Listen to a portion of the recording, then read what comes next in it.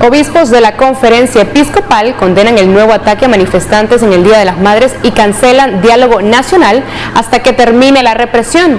Valesca Rivera nos informa.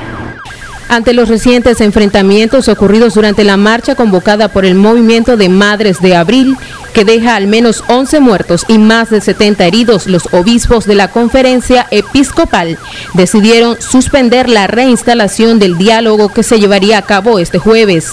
Así lo dieron a conocer a través de un comunicado donde señalan que mientras el gobierno continúe reprimiendo y asesinando al pueblo, no reanudarán el diálogo nacional a la vez que indican el profundo dolor que viven por los ataques de grupos armados contra el pueblo. En el comunicado aclaran que no existen condiciones para dialogar y piden a Dios el consuelo a tantas madres nicaragüenses por el asesinato de sus hijos. Para Acción 10, Vales